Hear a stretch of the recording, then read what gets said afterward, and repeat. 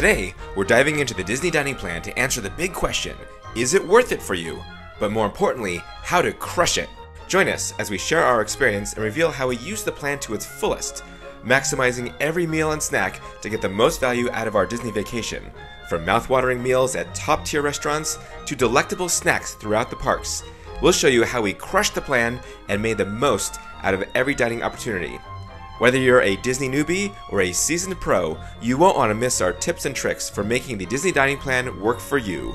Join us!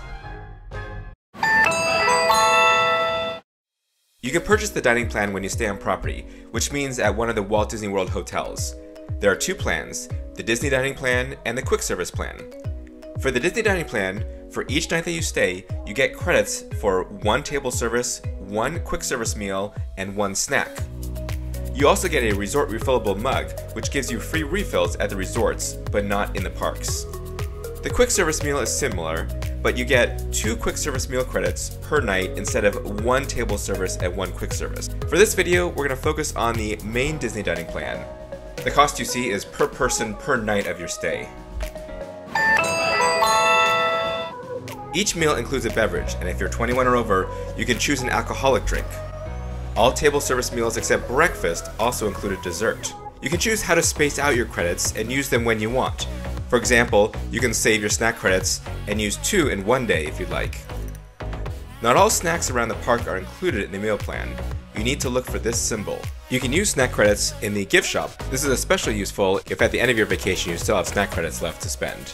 Each person over three on the reservation will be included in the plan, and you have to purchase the plan for your full stay.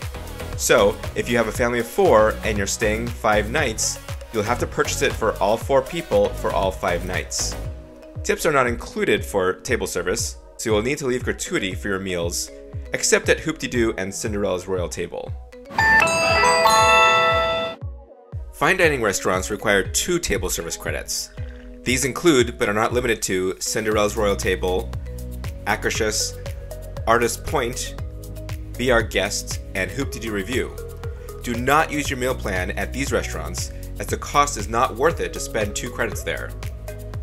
You might think you can game the system if you pick up a large pizza from places like the All Star Resort and feed your family, but just know that a large pizza counts as two quick service credits.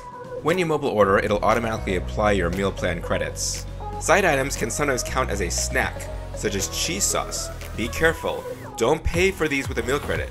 When you're mobile ordering on the app, you can select at the time of purchase if you're using the meal plan for each item or not. Or you can tell the cast member when you're ordering.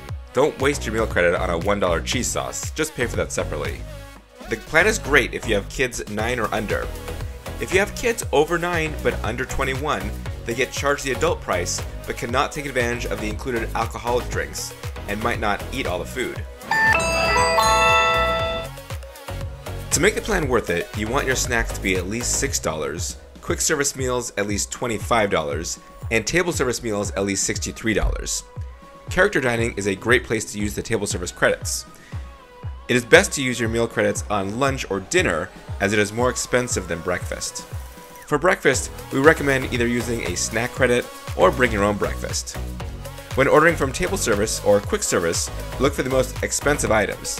For example, if you go to Teppan Edo, we recommend you order the steak and shrimp combination, which is $48.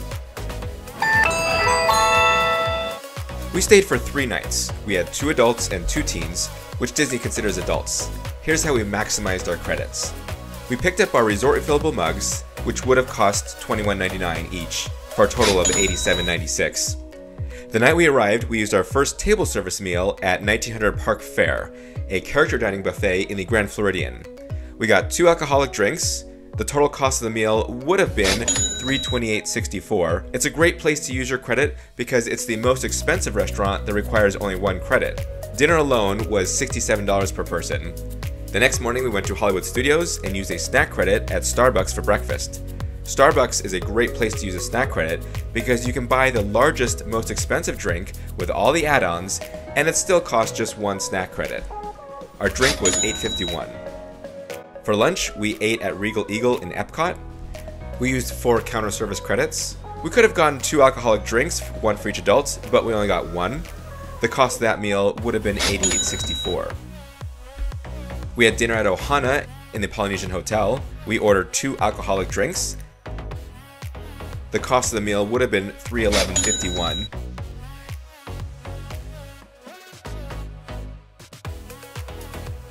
After dinner, we went to Magic Kingdom and used 4 snack credits to get ice cream from the snack carts, which would have cost $24.75. If we were not still full from dinner, a better choice would have been to use our credit at Plaza Ice Cream Parlor and gotten a sundae for $8.79.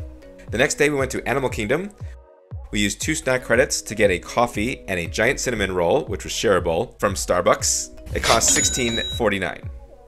We had lunch at Satu'li Canteen, which cost $88.58. For this meal, no one wanted alcohol. We got a pineapple lime drink instead.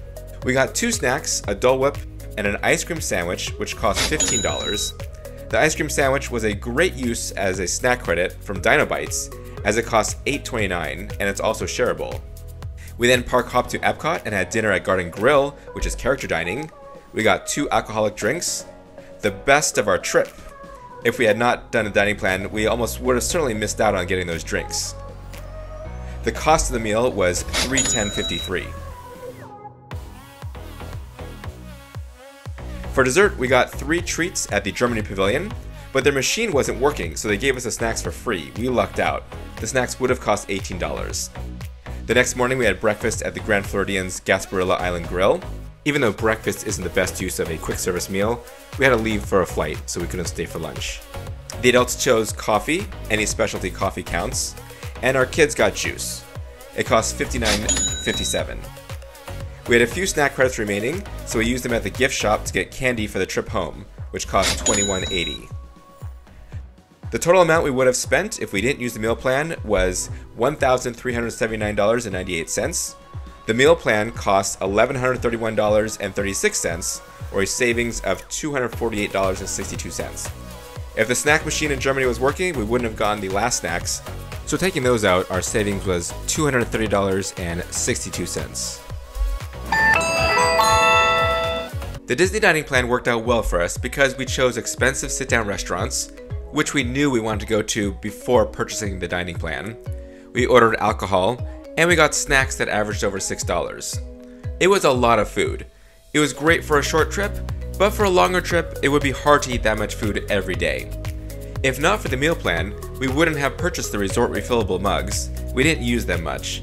We also wouldn't have ordered as much alcohol. But the meal plan provided us the opportunity to order expensive items and try new things that we might have been hesitant to do otherwise. Another advantage is that your food is all prepaid. You don't have to think about the cost when you order. You can go for the most expensive items and not worry about it.